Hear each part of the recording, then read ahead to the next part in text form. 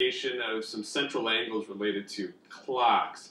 There will be a problem eventually on the chapter 6 test that is like this problem where you have to tell this, the measure of the central angle between two hands of a clock.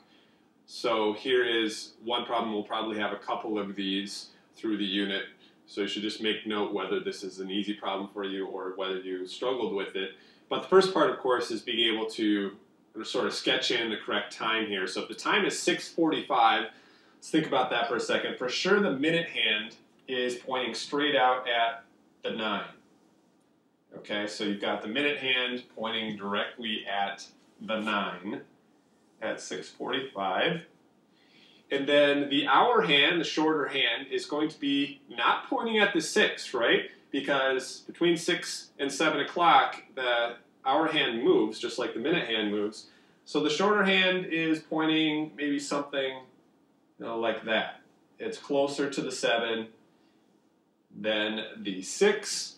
And so now let's think through what the angles are in the clock. So the clock is a circle, of course. We know there's 360 degrees around the circle. So if we take 360 degrees and divide it by the 12 hours, so 360 degrees in the circle, the hours basically divided into 12 equal chunks. So each one of those is 30 degrees. So if we think about that, that means that the arc measure between 12 and 1 o'clock is 30 degrees. The arc measure between 1 o'clock and 2 o'clock is 30 degrees. The arc measure between the 2 and the 3 is 30 degrees, and so on and so forth. So every one of these is 30 degrees. So if we think about the angle formed between the hands of the clock, we can think about the arc measure out here. So we know we have 30 degrees between the 8 and the 9. We know we have 30 degrees between the 7 and the 8. So we have at least 60 degrees in this angle. However, the 30 degrees that is between the 6 and the 7, our central angle is not covering that entire 30 degrees. So let's think about how much it actually is left over. We have this little chunk down at the bottom here.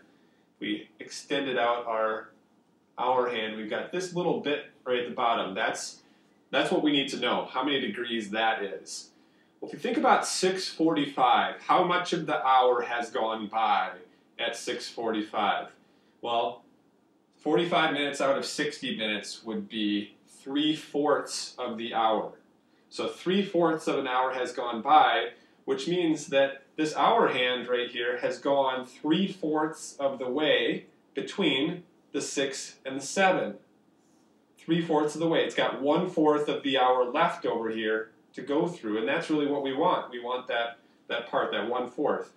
Well, the entire amount between 6 and 7 o'clock is 30 degrees. There's one fourth of that 30 degrees that's left. One fourth, because three fourths of the hour has we've gone through, so three fourths of 30 degrees we've already gone through. Now we have one fourth of 30 degrees left to go through there. So if we think of 30 degrees and we want to do one fourth of 30 degrees, uh, we do a little multiplication. Basically, that's 30 divided by 4. 30 times 1 is 30. And then 1 times 4 is 4. So 30 divided by 4. If you take 30 and divide it by 4, you would get 7.5. So 7.5 degrees is how much is left down here at the bottom. So this part right down at the bottom is 7.5 degrees. Okay, so our grand total central angle right here is going to be made up of 30 degrees, 30 degrees, and then another 7.5 degrees. Gill, so I'm just going to record that at the top the here. Sakaya Gill, they're waiting for you in the gym.